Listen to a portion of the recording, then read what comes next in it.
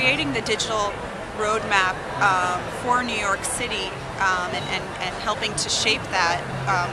has been a very educational process because it involved so much interaction and so much feedback. So we got 4,000 points of engagement both from um, the public, whether it was through in-person forums like meetups and workshops or through social media platforms like Twitter and Quora, but also internally from dozens and dozens of agencies that are truly the pioneers behind many of these efforts. Um,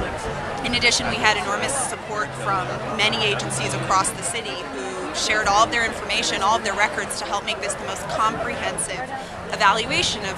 really where we are as a city and to also share their ideas and their strategies and their upcoming plans so that together we put together this cohesive plan that really includes all of that. And I think that that it's really the only place you can start um, when you're starting to chart a strategy like this, which is to engage with absolutely every stakeholder possible, um, create a system where you're able to build that input and then and then assess it and evaluate it and, and go from there.